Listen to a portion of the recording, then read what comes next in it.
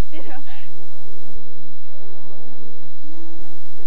I love the animated movie. That was one of my favorite movies growing up because I had blonde hair and so she was the princess. No, I'm really not supposed to speak to strangers. Without reading the script or anything, I, I went in and I met with Rob, Linda, and Joe. I saw Elle in uh, Super 8. I thought, she's perfect for Sleeping Beauty. To me, there was never any choice. I literally brought her in here the next day, told her all about The essence of her.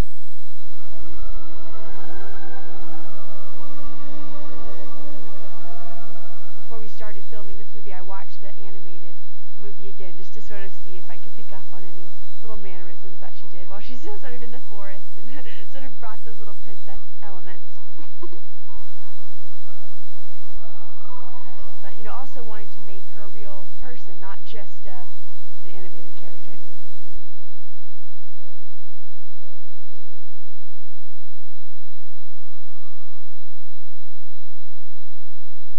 always felt when I watched the animated movie that I wasn't super scared of Maleficent when I watched it. I always thought, oh, she's so elegant. She had that angular beauty, you know, in the animated film. So I, I was always sort of intrigued with her.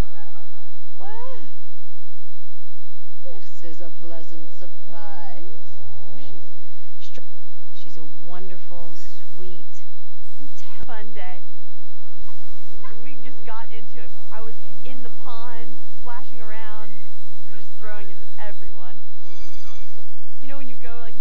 Get facials, it was like like a clay mud mask.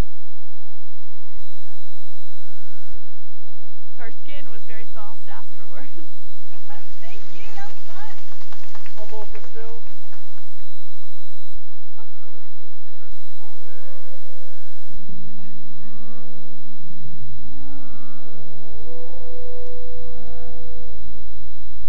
So definitely a part of my character is sleeping. In particular, it's like a long scene, and you have to sort of, you know, stay very still during those scenes. Find the inner calmness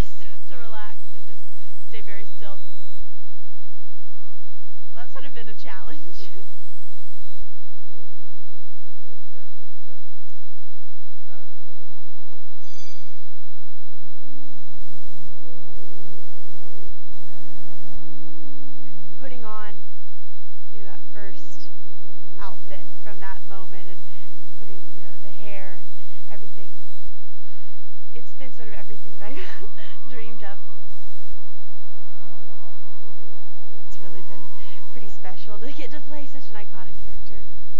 You have your queen.